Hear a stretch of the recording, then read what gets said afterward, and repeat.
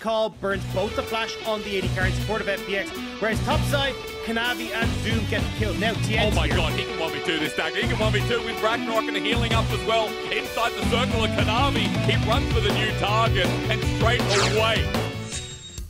Raiden Dirk picked up versus only a Divine Sunderer and a couple of long swords.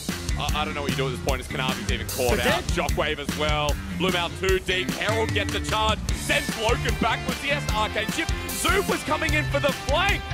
Zoom is just dead.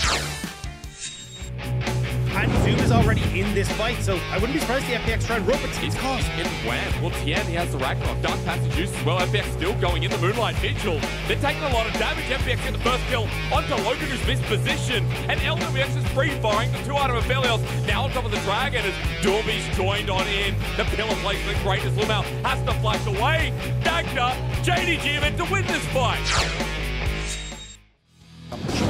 Tian responding well, going for the evade. And it's the duel. Remember, this is a Xin Zhao against Kanavi. He gets the knock up, but he's run out of abilities. Kanavi has Shigal the support as well. The flash. Tian going a little bit deep. Good dark passage, but LvMao there to help out. Concussive blow's not going to connect as LokeN is blocked by Crisp.